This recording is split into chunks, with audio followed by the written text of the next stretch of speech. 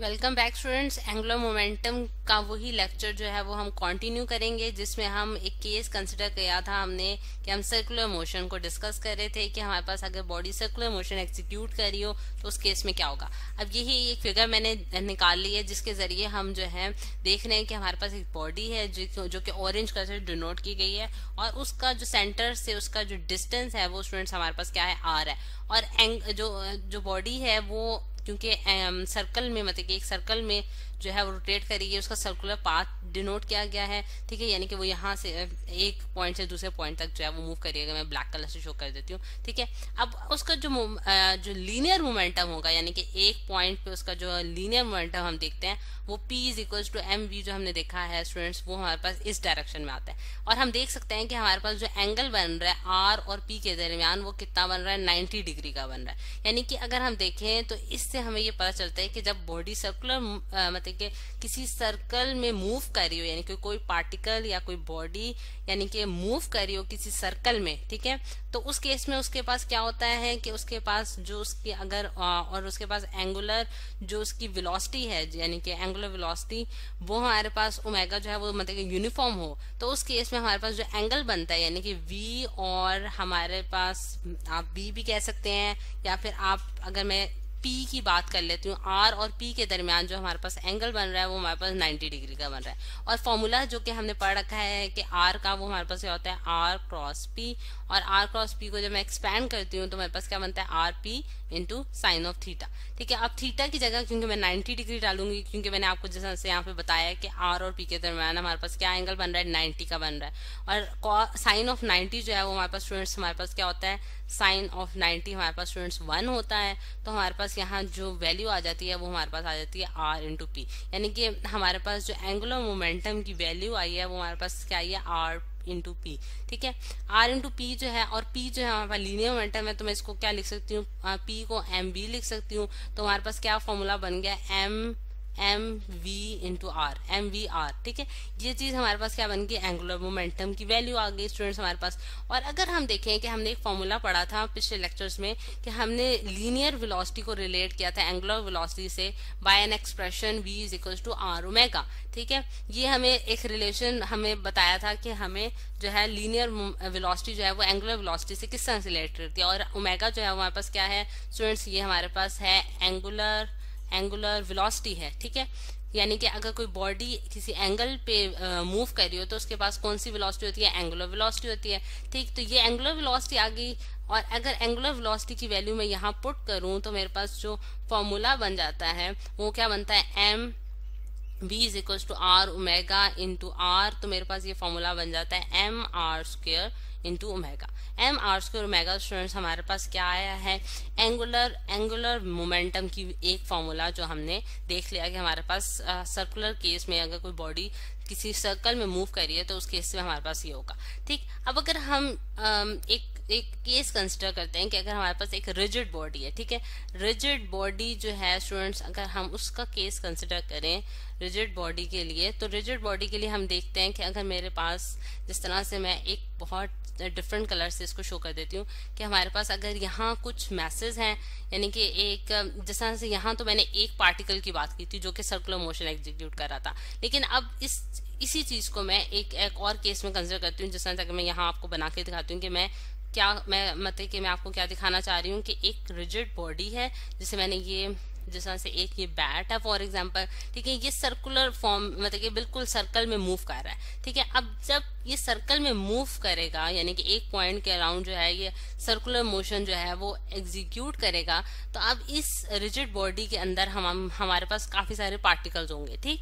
अब इसी चीज़ को मैं मैं इसको एक फिगर में दिखा देती हूँ कि हमारे पास एक फिगर है, जिसमें हमारे पास एक रिजिड बॉडी है, और उसमें हम देखते हैं कि वो एक एक एक्सिस के अराउंड जो है, वो रोटेट करिए ठीक है? अब ये इसका एक एक्सिस है, जिसके अराउंड जो है, इसकी रोटेशन जो है, वो एग्जीक्यूट हो रही है। अब अगर हम कंसिडर करें कि ये रिजिड बॉडी क्योंकि हम जानते हैं कि हर हर चीज़ मैटर से मिलकर बनी है और मैटर जो है उसके अंदर हमें एटम्स हैं पार्टिकल्स हैं। ठीक, अब ये इसके अंदर मैंने जो है कुछ स्मॉल पार्टिकल्स जो है वो कंसिडर कर लिए हैं। मतलब कि ये मैं आपको जस्ट एज अ केस दिखा रही हूँ कि ये मैंने तीन पार्टिकल कंसिडर किए हैं। अब ये उसका सेंटर एक्सेस है जिसके ज़रिए मैं ओरिजिन पॉइंट यानी कि ओ डिनोट कर देती हूँ, यानी कि ये उसका सेंटर पॉइंट होगा, इस बॉडी का जो सेंटर पॉइंट है वो हमारे पास होगा। अब ओ से अगर मैं इस पार्टिकल तक का डिस्टेंस देखूँ तो वो मेरे पास क्या है? स्टूडेंट्स आर वन है।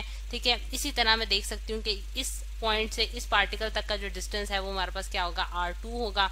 और इसी तरह अगर मैं ये पार्टिकल यहाँ पे इसके बजाय मैं इसको यहाँ कंसिडर कर लेती हूँ, जैसा यहाँ मैंने इसको कंसिडर कर लेती हूँ, ठीक है? एक और पार्टिकल वो उसका यहाँ से यहाँ तक का जो डिस्टेंस है वो मेरे पास क्या होगा? स्टूडेंट्स आर थ्री होगा। अब, आप देख सकते हैं कि ये तीनों जो है वो डिफरेंट डिस्टेंसेज हैं, यानी कि एक पॉइंट यहाँ है, एक यहाँ है, एक यहाँ है। यानी कि इनके डिस्टेंसेज जो है वो डिफरेंट हैं, और इनके मैसेज जो है फॉर एग्ज़ाम्पल मैं एम वन एम टू और एम थ्री जो है वो इनको उसी तरह से मैं इनको मैसेज भी दे दिए मैंने M two M one M two और एम थ्री ये इनके मैसेज हो गए। अब अगर स्टूडेंट्स मैं इस केस के लिए इस केस के लिए मतलब कि इस पूरी रिजिड बॉडी यानी कि ये जो रिजिड बॉडी है इसके लिए मैं अगर आ, इसकी एंगुलर मोमेंटम की वैल्यू निकालना चाहती हूँ तो वो मैं किस तरह से निकालूँगी कि अगर मैं फॉर एग्ज़ाम्पल यहाँ मैं एल जो है, वो एल किस तरह से निकालूँगी कि अगर मैं इन सारे मैसेज को मल्टीप्लाई करूँ स्क्वेयर ऑफ़ द रेडियस से, क्योंकि हम फॉर्मूला जो पढ़ चुके हैं, वो क्या है कि एम आर स्क्वेयर ओमेगा है, ठीक है? यानी कि अब मैंने क्या करना है कि मैंने इन सारों को सम करना है, क्योंकि सम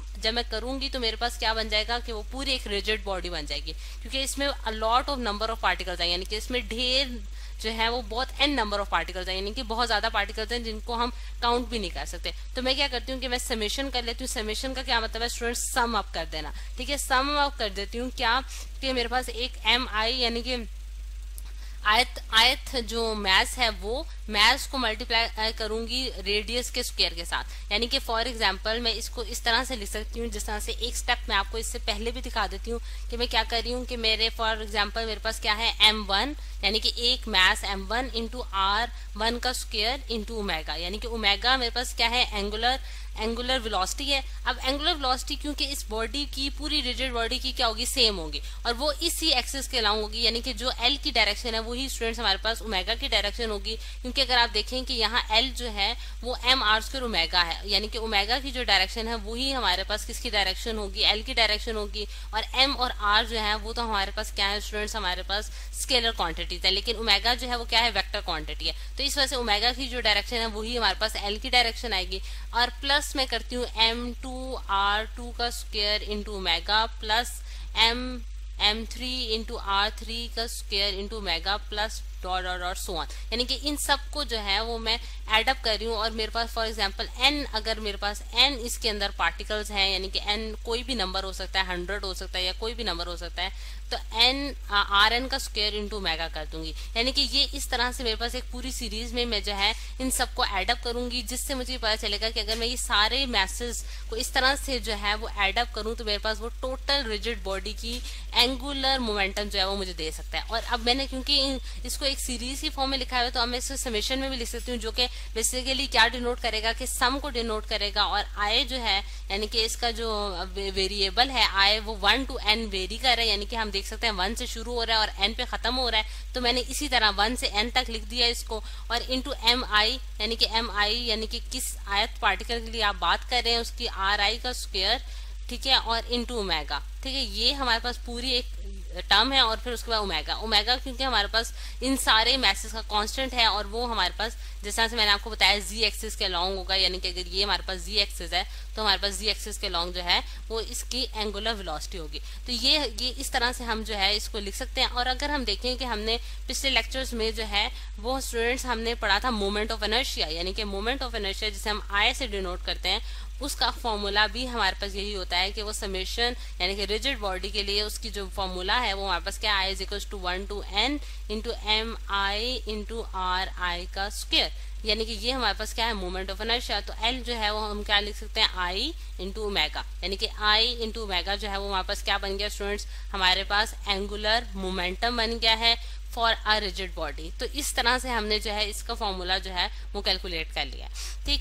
अब साइंटिस्ट जो है स्टूडेंट्स वो डिफर करते हैं हमारे पास स्पिन मोशन को ऑर्बिटल मोशन से या फिर आप कह सकते हैं रोटेटरी मोशन से, यानी कि इन दोनों में जो है, एक डिफरेंस जो है, वो डिफाइन किया जाता है। अब अगर देखा जाए तो इसी बेसिस पे जो है, वो हमारे पास इनके जो एंगुलर मोमेंटम्स हैं, वो उनको भी डिफरेंट नोटेशन दिए हैं गई हैं जिस तरह से स्पिन मोशन में हम जो एंगुलर मोमेंटम है, उसे एल नॉट से डिनोट करते हैं सॉरी एल एस से डिनोट करते हैं, और ऑर्बिटल मोशन में स्टूडेंट्स हम इसको एल ओ से डिनोट करते हैं, यानी कि एल के नीचे हम जो है स्मॉल जो है सबक्रेट में ज़ीरो लगाते हैं, ठीक है? यानी कि एल नॉट अब अगर आप देखें कि इसमें जो बेसिक डिफरेंस है हमारे पास स्टूडेंट्स ऑर्बिटल और स्पिन मोशन में, वो कुछ इस तरह से है कि हमारे पास अगर बॉडी जो है, वो एक पॉइंट के अराउंड जो है, अपनी रेवोल्यूशन कर रही हो, ठीक है? रोटेट कर रही हो तो हम ये कहते हैं कि ये ऑर्बिटल मोशन एग्जीक्यूट करिए जिस तरह से यहाँ डिनोट किया जा रहा है कि ये इसका सेंटर पॉइंट है और उसके अराउंड ये ऑर्बिट में जो है रिवॉल्व करिए लेकिन अगर एक बॉडी जो है, वो अपने एक्सिस के अराउंड ही